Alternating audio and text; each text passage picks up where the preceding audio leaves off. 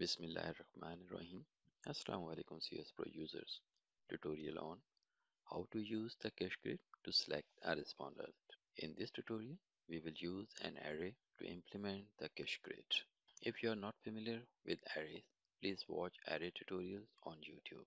These links can be found in the description box.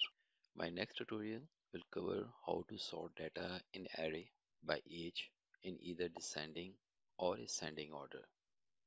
The respondent may change as a result of this sorting.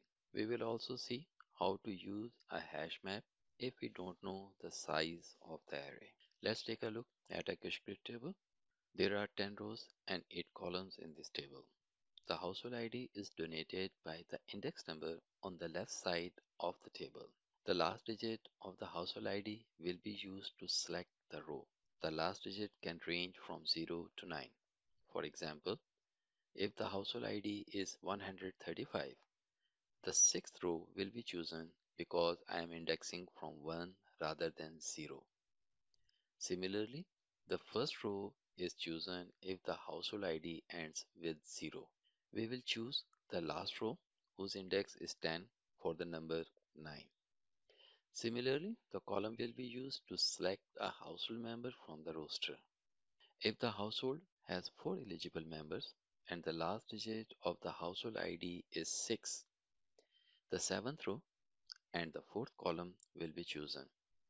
And where the two points will come together, that number will be chosen.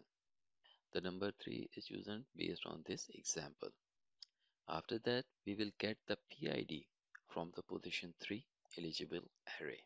Column 8 will be used if the household has 8 or more eligible members in the roster to begin declare array in the global procedure.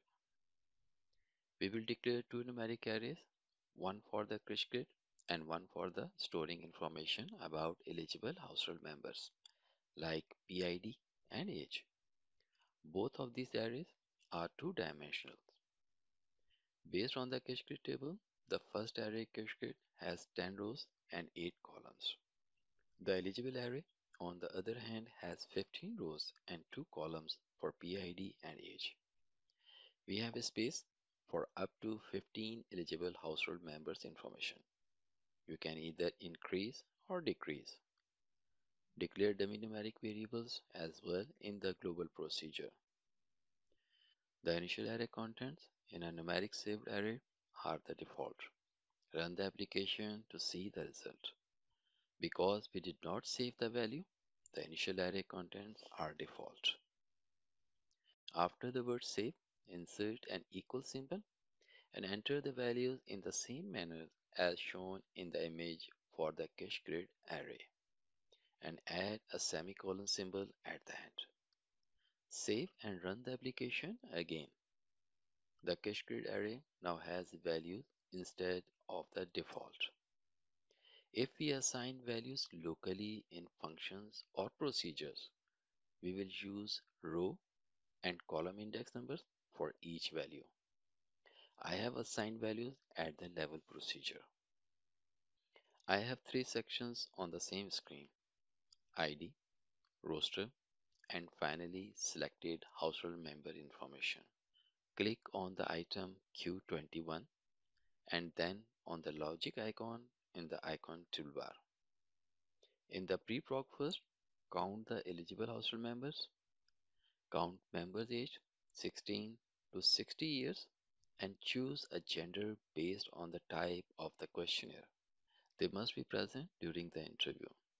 For the count function, you can use either the record name or the item name. The outcome will be the same. If the count is 0, then ends data entry. If members are available, then clear the array and fill the array table by using the do while loop. The loop value is 1 at this point. This loop will be repeated until the value is less than or equal to the total number of eligible members. This loop will be repeated 5 times based on the roster. We will use the seek function to find the first person who meets this logic. Both of these logics are identical except for the at the rate symbol. It means that the function looks for the nth occurrence of the condition. The loop x value is currently 1, so find the first person on the roster who meets this logic. The household head's age is 53, which is greater than is equal to 16 and less than is equal to 60 years. And his gender is male, which is also true because the questioner type is male. And he is present at the time of the interview. As a result, this occurrence number will be saved in seek line num. Instead of PID, the seek function returns the occurrence number against the PID. In seek line num, the occurrence value will be 1. The cursor will move to this line. This is the name of the array, followed by the row and column index number in parentheses. Because the value of loop x is incremented by 1 each time the loop is executed, the row index will change depending on how many times the loop is executed, which is why I am using loop x here. However, because the column index will not change in order to save the PID information, I am using a static value of 1. Following the is equal to symbol, the variable name q1 is given, which contains the PID information. Give the dummy variable name seek line num in parentheses which holds the occurrence number which is 1 based on this logic. Because the first occurrence number meet these requirements, as a result, PID1 is saved at row and column index 1. The cursor will move to the next line.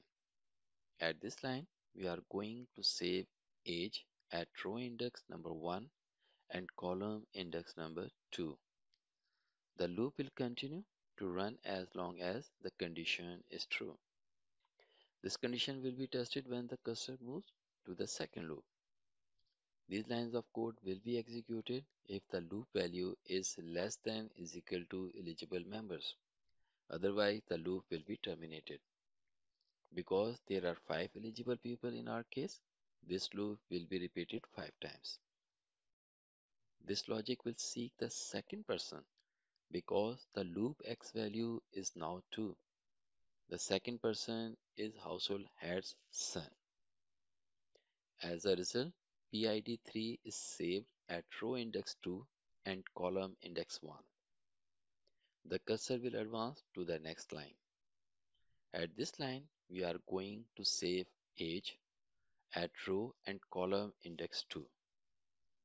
The same procedure will be followed for the remaining three eligible individuals. The final eligible array will look like this. It is now time to choose the respondent using the Kish grid and eligible array table. To select a row from the Kish grid array table, we need the last digit of the household ID. We begin by obtaining the length of the household ID. The length is 3. To extract the last digit on the second line, use the length and position in square brackets. We need to know two things before we get to this point.